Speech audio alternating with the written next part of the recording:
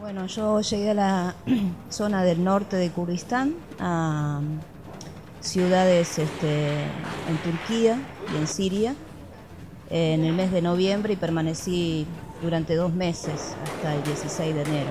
Viajé por iniciativa del movimiento kurdo que en ese momento hizo un llamado internacional para conformar brigadas sanitarias para ayudar en los campos de refugiados y eventualmente en la zona de guerra.